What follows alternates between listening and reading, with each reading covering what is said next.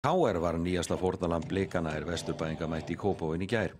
Blikar hafa skorað að vildi í sumar og þeir refsa betur en önnur lið. Það gerir strax á 24. mínúti er Viktor Karl Einarsson braut ísin fyrir blikana. Fyrirliðin Höskuldur Gunnlaugsson bætti svo öðru marki við fyrir hlið úr vítaspyrnu. Það var eitt lið á vellinum í upphafi síðarháleiks. Þá skoruðu blikanir tvö mörg og gengu frá leiknum. Mósvellingarnir Ísak Snær Þorvaldsson og Jasson Daði Svanþórsson á skótskónum.